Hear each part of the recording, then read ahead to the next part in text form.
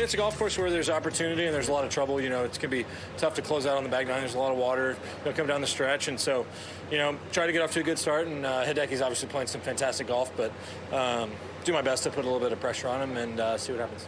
Anything you feel like you have to tighten up, clean up ahead of tomorrow?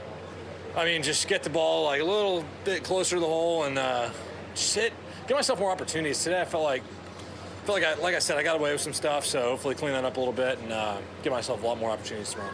Paris, you talked about seeing the leaderboard at the turn on Sunday and how far back you were, and then did you change anything to shoot 29 or just some putts dropped? Like, did you play more aggressively because of how far back you were? I mean, at times I would be slightly more aggressive. Like I think the approach shots I hit into 15 and 16 um, in Paris were definitely more of shots that I would attempt when I'm pressing to catch the lead.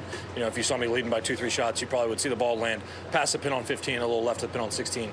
Um, but yeah, it changed the strategy a little bit. And going into tomorrow, you know, I'll do what I can to put some pressure on Hideki. But if he goes out tomorrow and shoots another five, six under, he's going to be a pretty tough guy to catch. But um, you know, I'm definitely not totally out of the tournament. Scottie, for you personally, what's the most challenging part about this golf course? Um, I mean, I think uh, staying committed to your shots. I think there's a lot of trouble out there on the golf course, and um, you know, there's a few holes where you can lose two shots really quick, which on a golf course where the scoring is fairly low, it can be. Uh, it can be really tough to, to shoot a low score when you're hitting balls in the water, and so, you know, it's being committed, staying aggressive, while also, you know, striking the balance between staying aggressive and being patient out there and uh, being committed to your shots.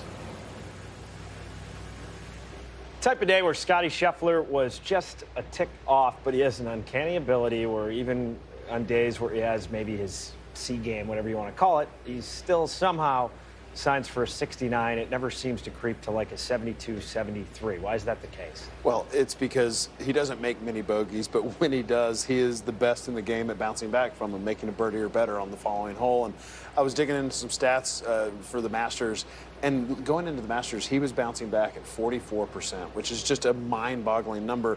And it's a stat he's progressively gotten better and better each year he plays. And if we look, he started out today, bogeys the second hole, gets to third, bounces back with a birdie, starting his round. Here he is on two in that left bunker. That is a shot you just never see. If I hit a shot like that, it would derail me, and I would probably go on to make about three or four bogeys in a row. But he doesn't do that. Here he is on the bunker, green side on the third. And as he's done all week long on these greenside bunkers, he is just making it look so easy, darn near holing this thing. So this was a theme over the course of his round. Here he is on six, putting four. This is where the frustration is. That's the par putt on seven. And this is the kind of frustration we're not used to seeing out of Scottie Scheffler.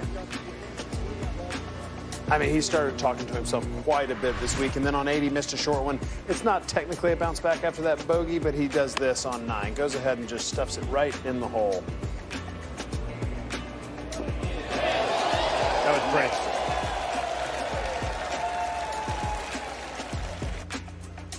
So taking a look at its bounce back percentage over the past four seasons, you said he was 44 earlier in the year. It's dropped to one third of the time, exactly 33.33. He's the leader. Last year he was second. And this is right where he's right where he's been all year long. I mean, if you look at his stats today, he's bouncing back this week just under 30% of the time. And it's one of these it's one of these categories players love to look at. You take a lot of pride in this because it shows that you can get over things quickly. And let's see what Scottie Scheffler's now working on on the range. Day, you probably want to hit a few balls after.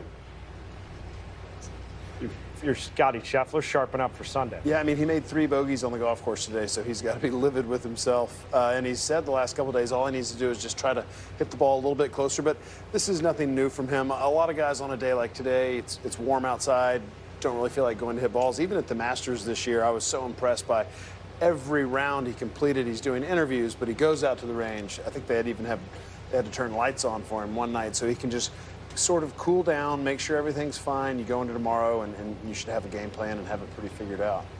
How would you rate his week overall so far to this point? Just big picture. He's T4, 10 under par.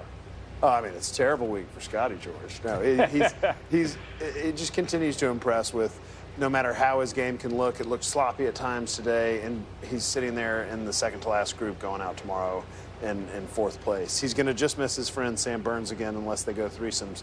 But uh, yeah, it's it's remarkable what he's doing this year. The consistency, the work ethic. I'm, I'm blown away. Wish I like my son's a competitive golfer, and I, I really want him to just look at the way Scottie Scheffler does it, and that's how you're supposed to do it in every facet.